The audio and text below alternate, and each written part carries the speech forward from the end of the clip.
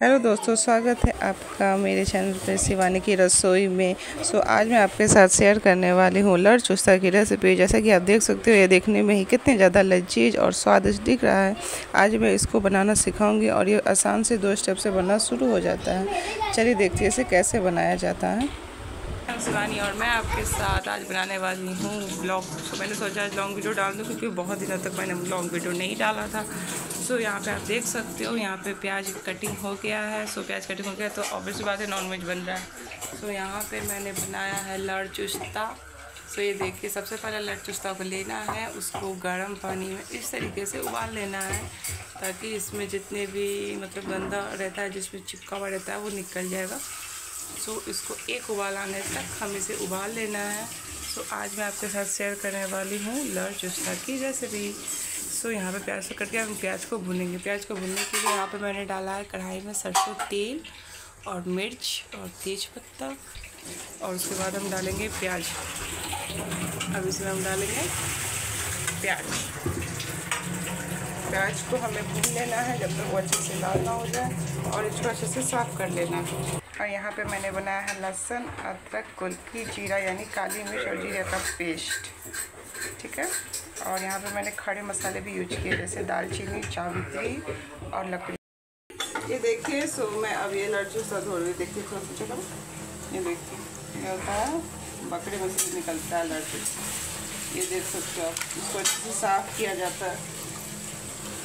ये होता है चुस्ता और ये होता है लड़। दोनों को मिला होता है लड़ चुस्ता ये देख सकते हो आप कितना लंबा होता है ये। और इसको छोटे छोटे भाग में कट कर सकते हैं या फिर बनाने के बाद भी आप कर सकते हैं। देखिए, ये चर्बी वाला हिस्सा होता है। ठीक है? इसको अच्छे से साफ़ करना होता है। इसमें ताकि इसमें कोई गंदा ना लगा। हमें इसे कम से कम पाँच छः पानी से तो धोना ही पड़ता है। देखिए, मैंने इसको अच्छे से साफ़ कर लिया। अब मैं इसकी कटिंग करूँगी। मैं बताती हूँ किस तरीके से कटिंग करते हैं। ये देखिए, इस तरीके से कटिंग करेंगे हम और ऐसे करके हम सारे मतलब जो भी जितना भी है, उसको कट कर लेंगे, ठीक है? ये मैं आपको आगे दिखाती हूँ। अब इसमें डालेंगे पेस्ट जो हमने बनाया था। अब इसमें डालेंगे हम हल्दी, ए वन टेबल स्पून फिर इसमें डालेंगे धनिया टू टेबल स्पून फिर डालेंगे इसमें red chilli powder one point half tablespoon आप अपने हिसाब से तीखा बढ़ा या घटा सकते हैं। फिर यहाँ डालेंगे वन टेबल स्पून काली मिर्च यानी ब्लैक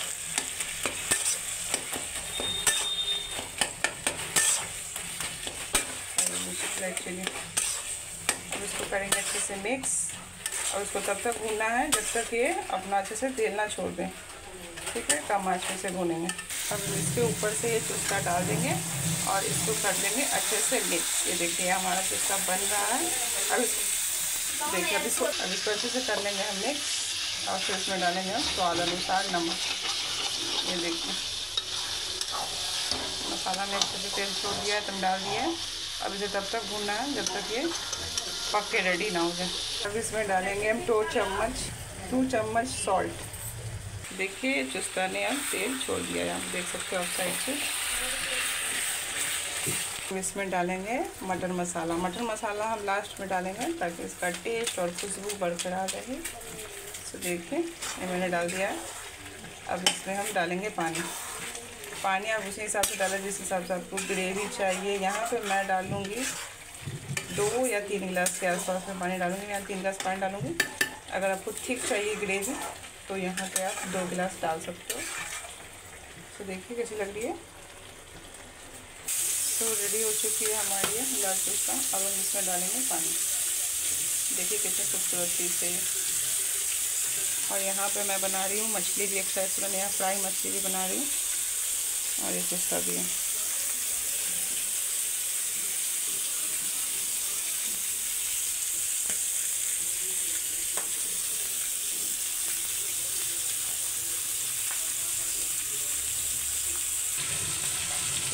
कैसा लगा आपको मेरा वीडियो लाइक से कमेंट कीजिएगा। मैं शिवानी फिर लेके आऊँगी। आपके साथ प्यारी प्यारी कैसी कैसी टेस्टी टेस्टी सी रेसिपी तो देखिए रेडी हो चुकी है मेरी पुस्तक की रेसिपी